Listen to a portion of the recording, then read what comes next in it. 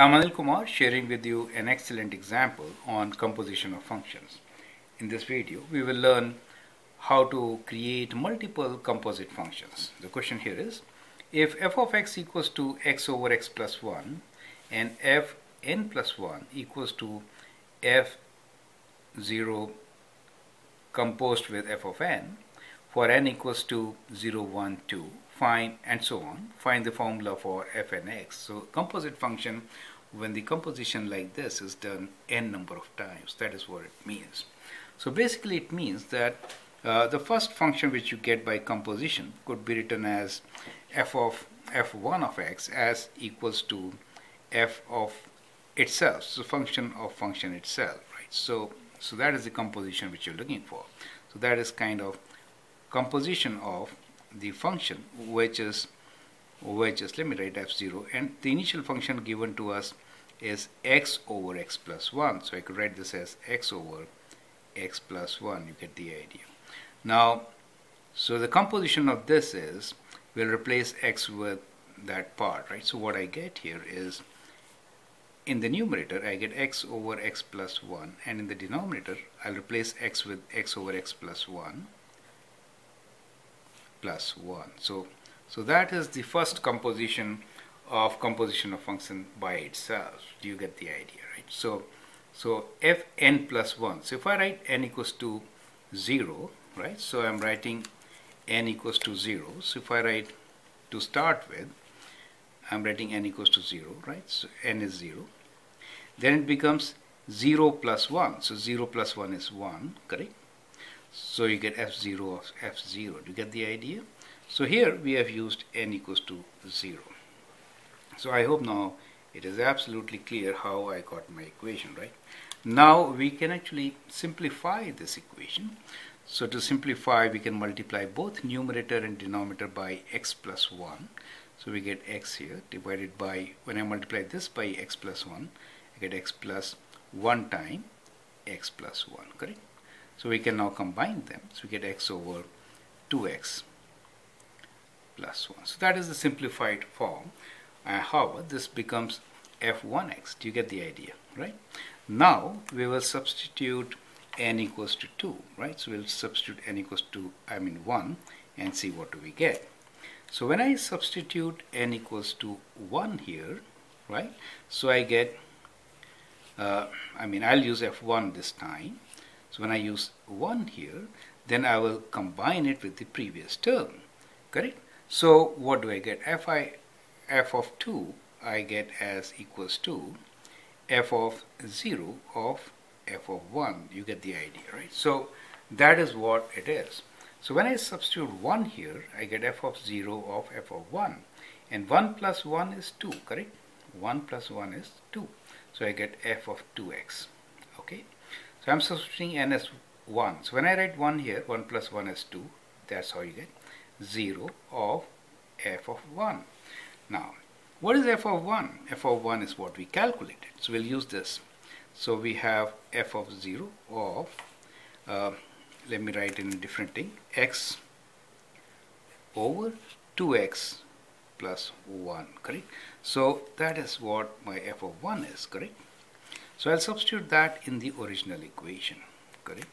So this gives us, instead of x, I'm going to write x over 2x plus 1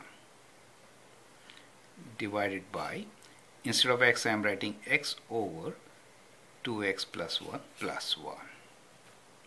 This time to simplify, I'll multiply both numerator and denominator by 2x plus 1.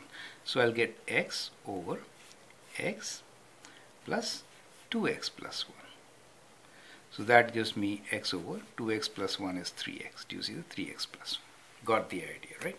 So we get that for x over 3x plus 1 for f2. Now let me substitute n equals to, let me give more room here, n equals to 2, right? In that case, so I'm writing 2 here. So what do I get? I get, let me rewrite, 2 plus 1, 2 plus 1, which is f3, right? And then f of 0 of f of 2. Got the idea. Is that okay, clear? So I'm substituting n as 2 now. 2 plus 1, 3. At this time I'm not writing uh, 3 directly, I'm just writing like this. I hope that helps. So we have f of 0 of f of 2. f of 2 is this function. So this is f of 2, right? So this is equals to f of 2, right? So we'll write this function here.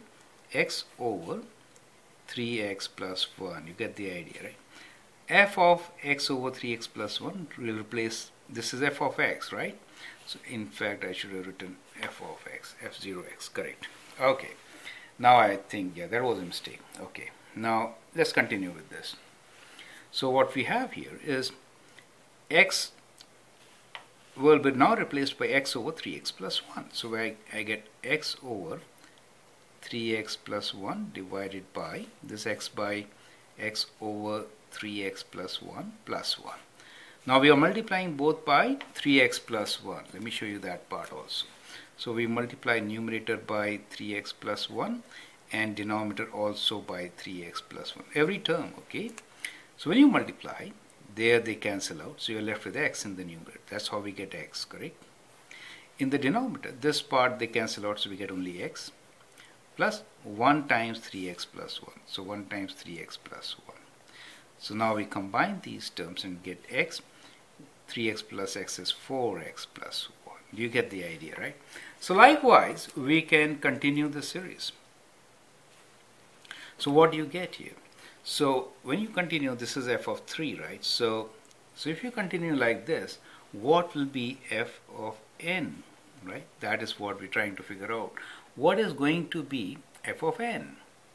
So f of n will be equal to, this is f3, right? So when it is 3, uh, you get you get 4, correct?